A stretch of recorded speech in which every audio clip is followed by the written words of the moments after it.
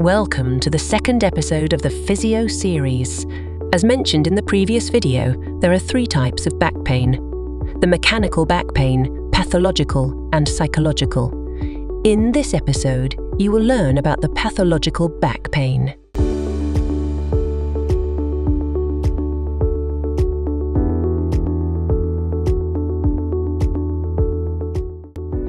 Pathological back pain refers to a chronic and severe pain in the back that is caused by an underlying medical condition or disease.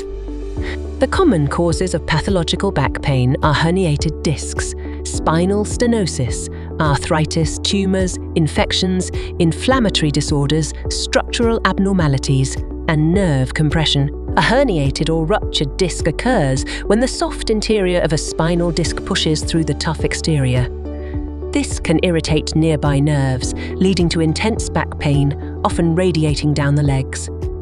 Spinal stenosis is the narrowing of the spinal canal, which can put pressure on the spinal cord and nerves, causing chronic back and leg pain. It's often associated with aging. Arthritis.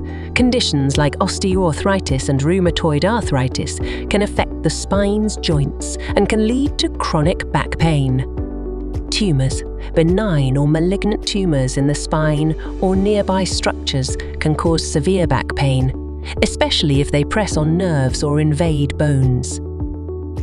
Infections. Infections of the spine or nearby tissues, such as vertebral osteomyelitis or epidural abscess, can lead to persistent and severe back pain.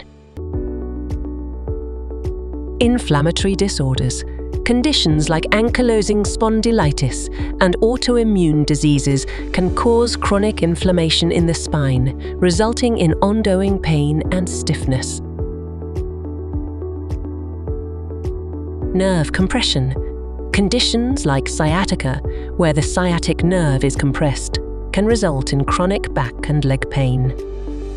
Congenital or acquired structural abnormalities of the spine, such as scoliosis or spondylolisthesis, can cause chronic pain. Treatment for pathological back pain depends on the underlying cause. It may involve a combination of medications to manage pain and inflammation, physical therapy to improve strength and flexibility, injections of medications or steroids to reduce inflammation, surgery to correct structural issues or remove tumours, lifestyle modifications such as exercise and posture improvement. Keep in mind that it is important to consult a healthcare professional for a proper diagnosis and personalised treatment plan if you're experiencing chronic and severe back pain as early intervention can often lead to better outcomes. Thanks for watching. See you again in my next video.